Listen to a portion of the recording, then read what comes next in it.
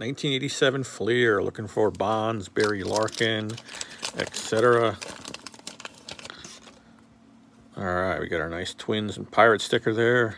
We got Ken Schrom, Vance Law, Jack Howell, Jimmy Key, Tom Niedenfuer, George Bell. He had a great year in 87. We'll put him on the stand for that.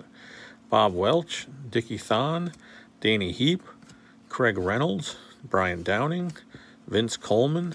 There we go. Nice Bo Jackson rookie. Definitely take that. Manny Trillo, Nick Esasky, Bruce Ruffin, and Ken Griffey Sr. All right, we got our Bo rookie. Not bad. Thanks for watching.